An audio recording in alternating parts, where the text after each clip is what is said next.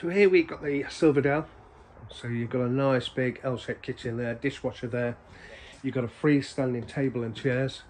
Coming into your living room, you've got your patio doors, you've got your sofas, and there you've got a little cabinet there for storing all bits and bobs. You've got USB chargers on these sockets as well, and then you've got another two-seater sofa. You've got ample of space, you've got your cooker, your fridge freezer.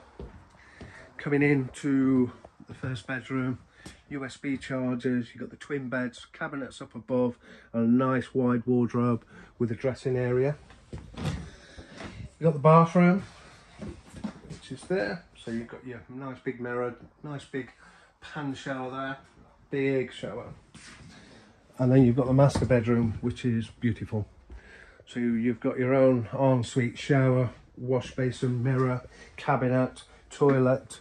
You've got ample wardrobe space, a nice big dressing area, TV point, king size bed with sockets either side and USB charger. So this will come with a full wraparound decking, includes the site fees and the rates for this season. So great value for money. If you want more details, get in touch.